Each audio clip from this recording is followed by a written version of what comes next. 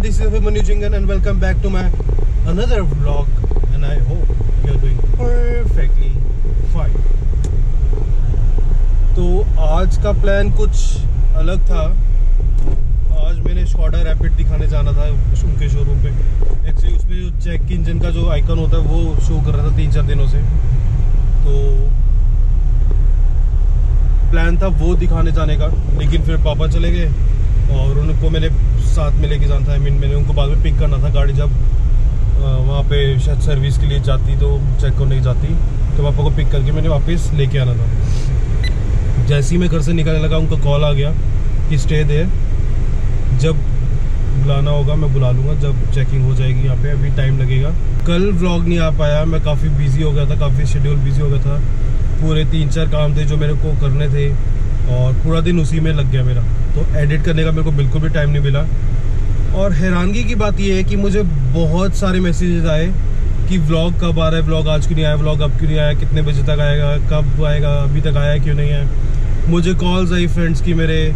मैं जहाँ के एक जगह और गया था, वहाँ से मुझे पूछा कि व्लॉग नहीं आया आज, आपका क्या बात, कैसे बहुत अच्छा फील हुआ कि लोग सीरियसली केयर कर रहे हैं मेरी। कि व्लॉग क्यों नहीं आया अभी तक?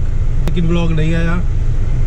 मुझे अच्छा लगा कि आपको बहुत बुरा लगा कि मेरा व्लॉग नहीं आया। अरे कहना क्या चाहते हो? लेकिन मैं ट्राई करूँगा कि मैं रात को एडिट कर लूँ और सुबह तक शेड्यूल कर दूँ उसको कि साढ़े पाँच बजे आना ही आना है तूने ब्लॉग ने। छोटे ये मज़ाक है क्या? रात को एक्चुअली टाइम ही नहीं मिलता क्योंकि फ़ोन पे लगे रहते हैं हम स्क्रॉल करते रहते हैं स्क्रॉल करते मीम्स देखते रहते हैं। और वही करते करते दो तीन बज जाते हैं। बस तीन बजे तक फिर नींद आ जाती है फिर सो के फिर सुबह बैठ के एडिट करना शुरू करो। चार पाँच बजे तक ख़त्म होती है फिर साढ़े पाँच का शेड्यूल करो फिर वीडियो आती है। तो आई विल ट्राई कि मैं एक रात पहले ही कर लूँ ताकि अगले दिन का कोई टेंशन ही ना हो। छोटे ये मज़ाक है क्या? कि अगले दिन मैं कहीं अगर बिज़ी भी हूँ तो एटलीस्ट ब्लॉग मेरा साढ़े पाँच शेड्यूल हो ऑलरेडी तो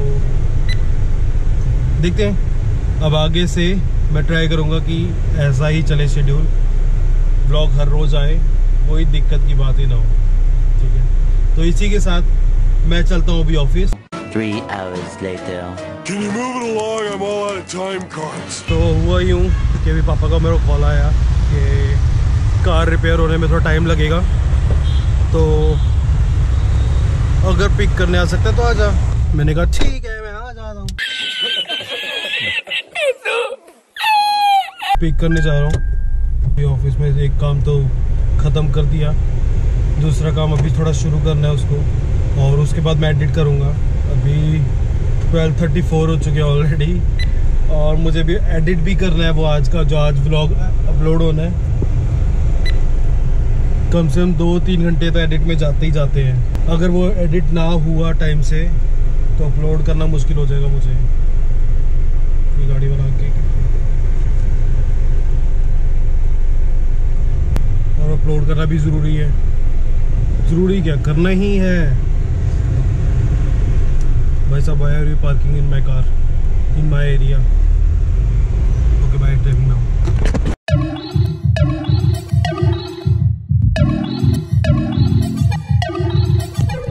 जिस हिसाब से ट्रैफ़िक आजकल बढ़ रहा है ना, उस हिसाब से बंदे को प्लेन ऑर्डर करने पड़ेंगे अमेजोन से। क्योंकि गाड़ी, स्कूटर, रिक्शा, साइकिल पे तो गुजारा है ही नहीं अब कुछ सालों में।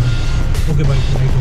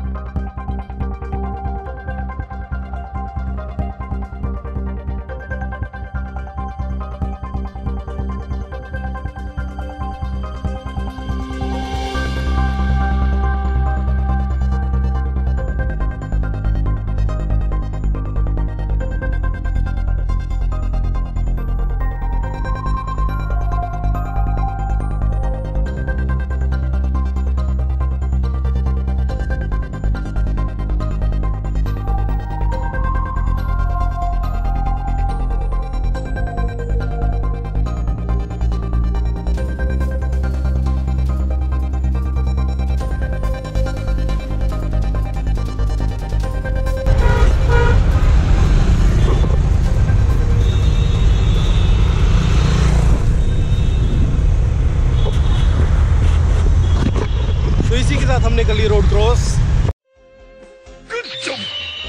Good job! Good job! और मैं पैदल इसलिए आ रहा हूँ क्योंकि ऑटो हमने दे दी सर्विस के लिए। तो मैं पापा को जैसे पिक करने गया था। अब पापा पहले घर जाएँगे लंच करेंगे फिर उन्होंने अभी ऑफ़िस जाना है। तो इसलिए मेरे को उनको अपनी कार देनी पड़ी। अब शाम को वो मुझे पिक करेंगे फिर हम गाड़ी को वापस लेने आएँगे। Three hours later.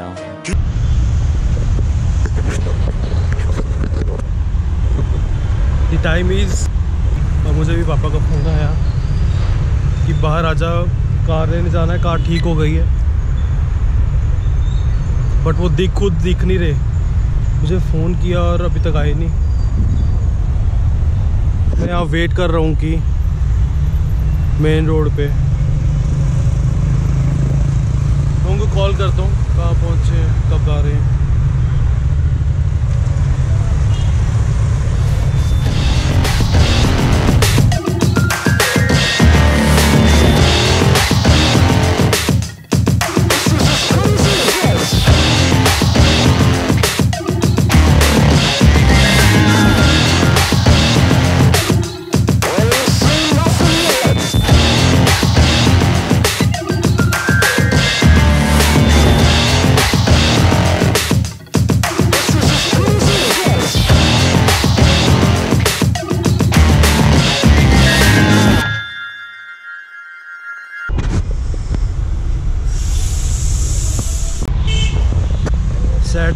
Is here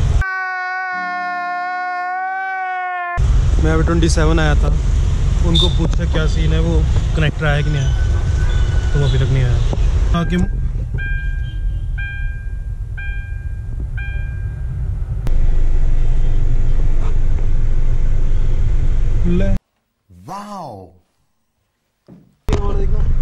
जगह थी नहीं कहीं। लेकिन निकलने। हम तो राजा जी हैं। हम तो निकलेंगे कहीं से भी। कार्स वाले या स्कूटर्स वाले, उनको कभी नहीं पता लगता कि अगर कोई गाड़ी बैक हो रही है तो तुम दो मिनट रुक जाओ। नहीं तो कुछ बाई चांस अगर उस गाड़ी वाले ने नहीं ध्यान दिया और तुम पीछे से निकल रहे हो, उसने स्पीड पे एकदम से बैक करी गाड़ी। वो लगेगा तुम्हें, है ना? तो ये बात समझ क्यों नहीं आती? मुझे आज तक समझ नहीं आया। लोग ऐसे क्यों हैं?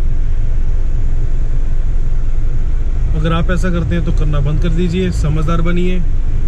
वरना चार पाँच लोगों के से गालियाँ सुनोगे और वो अच्छी बात नहीं है।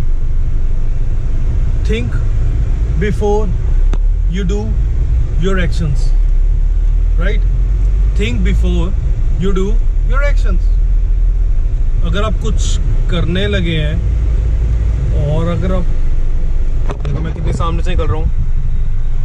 और जगह तो है। और मैं सोचा ना पहले कि यहाँ से निकल पाएगी कि नहीं निकल पाएगी। पॉसिबल है, नहीं पॉसिबल पॉसिबल था तो इसलिए मैंने निकाल दिया। अगर पॉसिबल ना होता तो मैं ज़बरदस्ती थोड़ी घुसाने की कोशिश करता गाड़ी। और अब निकल चुकी गाड़ी।